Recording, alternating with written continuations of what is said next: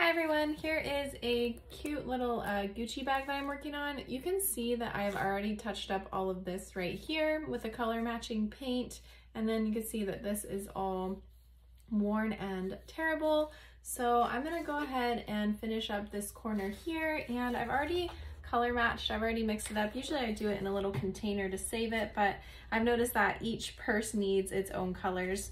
So I simply take a very um, like careful approach to it when I'm getting into these fine lines. You can't get it all over the bag, so you have to be very careful and um, really take your time to make sure that you get it 100% properly. Um, the first time, I don't like to go back in if I don't have to. I like to get it done right the first time.